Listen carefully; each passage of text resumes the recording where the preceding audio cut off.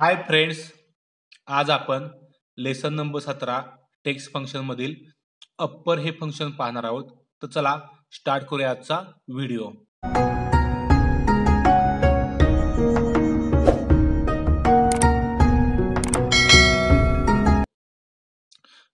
तर friends upper या फंक्शनचा उपयोग अप या नावातच दडलेला आहे बघा.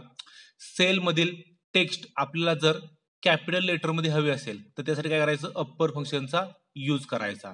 म्हणजे बघा जर आपल्याला असं टेक्स्ट अवेलेबल असेल जसं की आता हे नाव आहे आरती पडवळे. हे जर मला टोटल काय पाहिजे? सगळं कॅपिटलमध्ये हवं असेल तर मी काय करणार? अप्पर फंक्शनचा उपयोग करणार. अप्पर फंक्शनचा उपयोग काय होतो? तर आपलं जे टेक्स्ट असेल ते काय करतो आपण? कॅपिटलमध्ये कन्वर्ट करतो. तर यासाठी काय करूया आपण? प्रॅक्टिकली बघूया. बघा इथं मी एक्सेल शीट तयार केली आहे. सेम इथं आपल्याकडे स्टुडंटची नाव आहेत आणि इथं आपल्याला काय करायचे आहे अप्परचं फंक्शन यूज करायचे आहे फंक्शन यूज करण्यासाठी काय करायचं पहिल्यांदा? इज इक्वल टू अप्पर फंक्शनचं नावानंतर काय करायचं? सेम नेहमीप्रमाणे ब्रॅकेट स्टार्टिंग करायचा. कंस चालू केल्यानंतर मला जो टेक्स्ट ज्या सेलमधला टेक्स्ट काय करायचा आहे अप्परमध्ये कन्वर्ट करायचा आहे ती सेल सिलेक्ट करायची.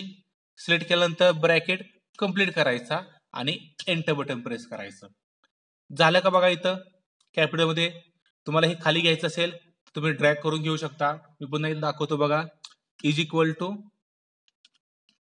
फंक्शनचं नाव अप्पर ब्रॅकेट स्टार्टर त्यानंतर टेस्ट काय करायचं? जी सेल आहे ज्या सेलमधला डेटा मला काय करायचा अप्पर करायचा आहे.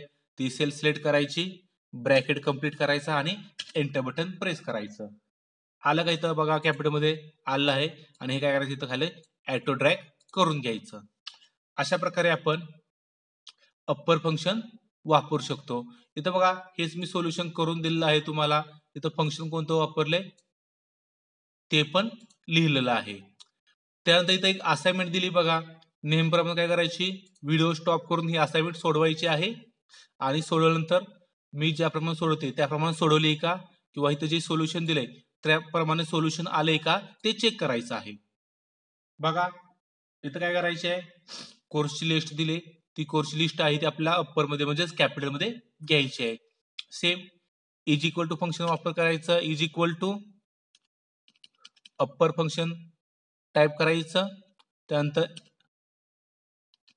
ब्रॅकेट घ्यायचा. ब्रॅकेट नंतर इथं काय करायचं? डेटा सिलेक्ट करायचा. जो मला काय करायचा आहे? अप्परमध्ये कन्वर्ट करायचा आहे. ब्रॅकेट कंप्लीट आणि एंटर. आलं का बघा इथं? आणि इथून काय करायचा? ड्रॅग करून आहे असा घ्यायचा. अशा प्रकारे आपण काय करायचे? एकदम सोपी असाइनमेंट सोडवायची आहे. अशा प्रकारे आजच्या व्हिडिओमध्ये आपण अप्पर फंक्शन कसं वापरायचं हे पाहिलं आहे. थँक्यू या व्हिडिओबद्दल किंवा ॲडव्हान्स एक्सेल या कोर्सबद्दल जर तुम्हाला काही शंका असतील अडचणी असतील तर त्या तुम्ही कमेंट बॉक्समध्ये मांडू शकता. मी त्याचं उत्तर नक्की देईन. तसेच तुम्हाला हा व्हिडिओ आवडला असेल तर या लाईक करा. तुमच्या मित्रांसोबत शेअर करा. आणि आमचे नवीन नवीन व्हिडिओ पाहण्यासाठी या चॅनलला नक्की सबस्क्राईब करा. थँक्यू